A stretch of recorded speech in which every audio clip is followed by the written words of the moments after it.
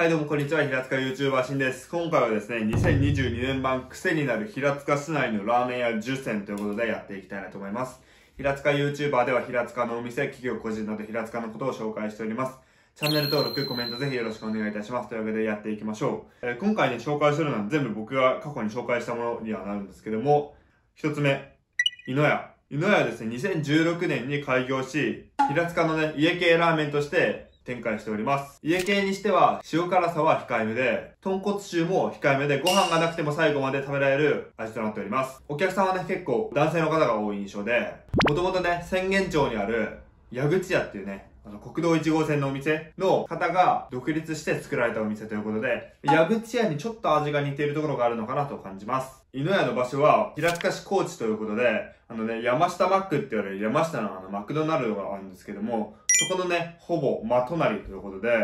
結構ね、徳信とか、あの、山下とかね、向こうら辺に住んでいる方は、犬屋と言ったらね、知らない人はいないんじゃないかなと思います。で、結構ね、まあ、平塚駅から離れていて、平塚はね、まあ、中心部ぐらいに、中の方にあるお店なんですけども、お客さんがね、結構入っていて愛されるお店ですね。駐車場がね、2台あります。カウンターのこう、後ろら辺にね、携帯充電スポットとかがあって、個人的にはね、すごいユニークなお店だなと思いました。ラーメン屋にしては珍しいですよね。はい、というわけで二つ目のラーメン屋行きましょう。花水ラオシャン。えー、花水ラオシャンね、平塚にね、住んでる方とかね、平塚をちょっと知ってる方だったらね、有名かなと思うんですけれども、花水ラオシャンはね、ちょっとみんなの知ってるタンメンではなくて、花水ラオシャンというとわかりやすいんですけど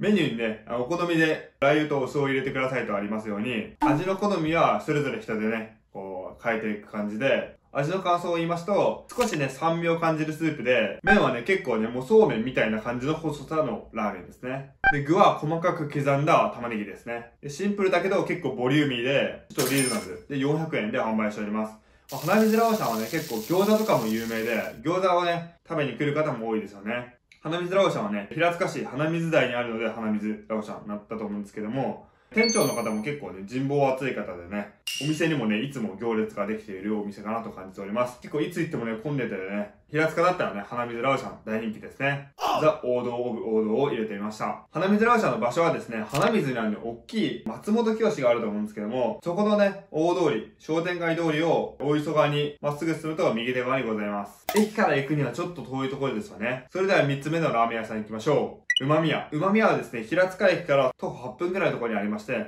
国道1号線沿いにございます。国道1号線を大磯方面から茅ヶ崎方面にこう進んでいくときに、えー、左手にございます。駐車場は確かね、4台5台ぐらいあったんじゃないかと思います。店の前にあるのとちょっと離れたところにございます。ラーメンは家系マイルドな感じに背脂を足したようなスープで、それにニンニクを主とした香味野菜各種をラードで揚げて作った香味油の舞を特徴とした味となっております。塩分がね、結構ね、ちょっと強めに感じるんですけども、ガテン系の方にはね、結構好まれる味なんじゃないかなと思います。個人的にもね、結構、えー、好きなラーメンでもありますね。店内がね、ちょっとね、古びた感じというかね、歴史ある感じで、ザ・ラーメン屋といったね、雰囲気が漂うかなと思っております。落ち着ける雰囲気って感じですね。はい、というわけで、4つ目のラーメン屋さん行きましょう。一徹一鉄は、豚骨醤油の、まあ、これもね、さっきの旨味屋と同じで、ガテン系って感じですね。駐車場は5台か6台ぐらいありますね。店前じゃないんですけども、店のね、ちょっと徒歩10歩ぐらい離れたところにありますね。ラーメンのトッピングは、キクラゲと青ネギ、半玉とチャーシューという感じで、まあ、豚骨醤油系のラーメンですね。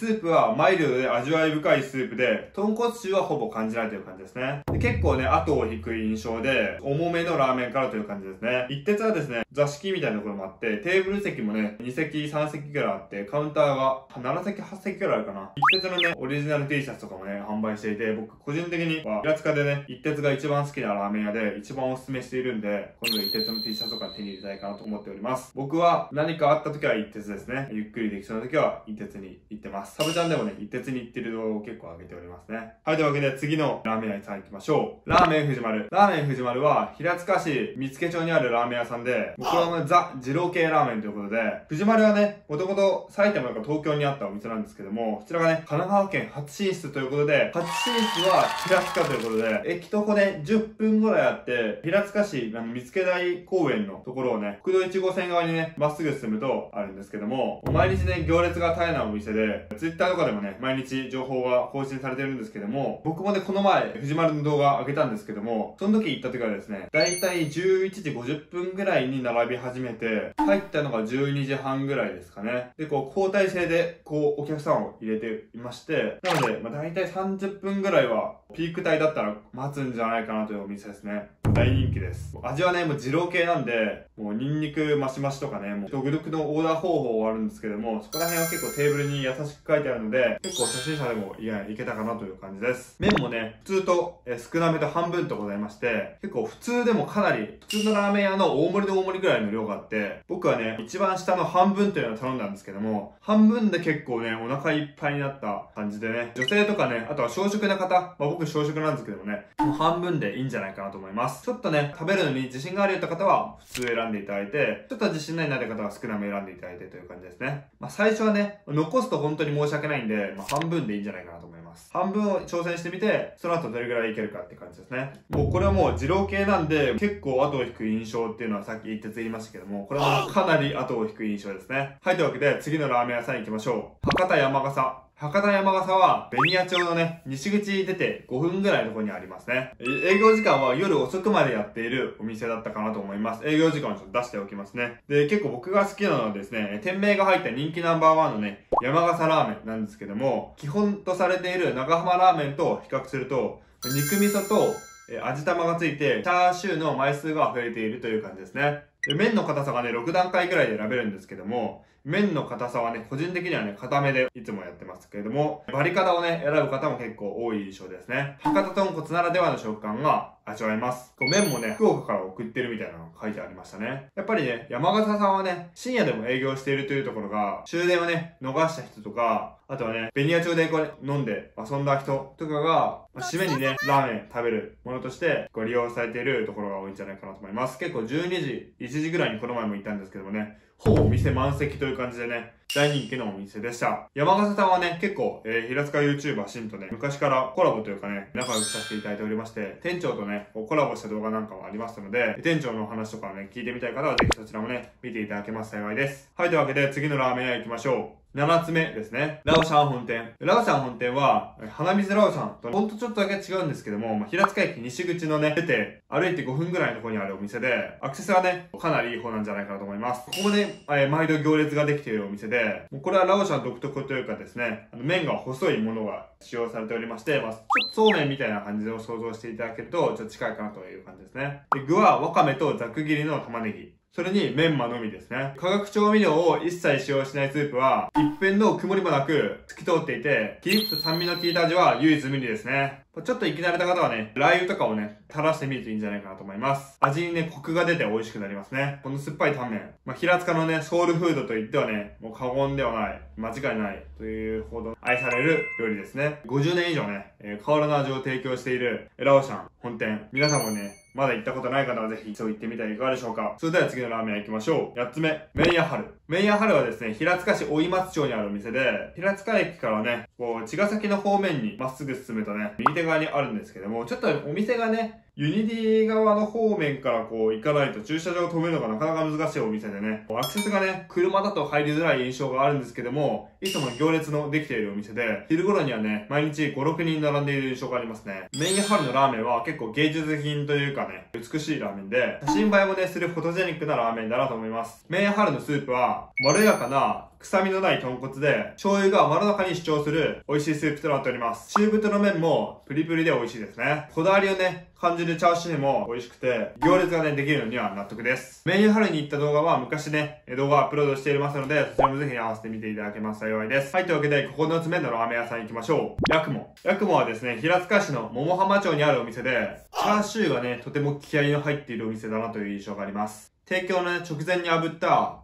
厚みのあるね、まあ、バラ肉とかがね、圧倒的な存在感を示していますね。スープは、カツオやサバや昆布などの和風魚介系という感じで、鶏ガラがよく効いていますね。麺は中太のストレート。もっちりとした食感で、コシがないわけではないんですけども、柔らかい印象ですね。チャーシューはもうね、ホロホロで、箸でうまく挟まないと崩れてしまいますね。ヤクモもね、えー、平塚でな、昔から愛されているお店で、結構いつも行列のできているお店ですね。最近なかなか行けてないんですけども、えー、これを紹介したらね、また行きたくなりました。はい、というわけで最後のラーメン屋行きましょう。湘南新馬。湘南新馬はですね、平塚市の追い分けにあるラーメン屋さんで、共済病院のね、方面から左に曲がったところで、左手側にございます。追い分けのセブンイレブンまで行かない手前にございますね。駐車場はないので、近くの有料パーキングに止めるのがいいんじゃないかなと思います。新馬もね、結構フォトジェニックなお店で、僕が食べたね、イカ煮干しラーメンは体験したことのない味わいでした。イカとね、煮干しがとてもバランスよく調和していて、特製にしてトッピングを増やすのも必須ですね。チャーシューやワンタンなども高レベルです。今日ね、最近できたお店で、2021年の9月にオープンした店で、結構僕もね、事務所から近いんでね、3、4回ぐらい行ったのかなと思います。新馬の雰囲気はね、結構おしゃれなんで、図体もね、結構入りやすいお店なんじゃないかなと思います。はい、というわけで今回は、平塚市内のね、癖になるラーメン屋10選ということで、ラーメンをね、10個紹介しました。他にもね、こんなラーメン屋あるよという方いらっしゃいましたら、コメントいただけます幸いです。結構ね、えー、平塚 YouTuber を始めて、もうちょっとで3年ぐらいになるんですけども、ラーメン屋さんはかなり訪れたという感じで、まだまだ行けてないところあるんですけれども、今後ともね、ラーメン屋開拓は続けていきたいなと思いますので、コメント欄で教えていただけますと幸いです。最後もね、途中でも話しましたけども、えー、この中で10個、どれが一番おすすめですかと言われたら、鉄がね、個人的には一番おすすめです。この次は何ですかと言われたら、結構ね、藤丸が二郎系ラーメンだったんですけども、で、この前ね、二郎系初めて体験したんですけどもね、サウナみたいな感覚でこの、きつい感じが楽しいみたいな感じがしてね、美味しかったんでね、藤丸もね、皆さんも一度は行ってみてはいかがでしょうかという感じですね。はい、というわけで以上、平塚 YouTuber しんでした。では。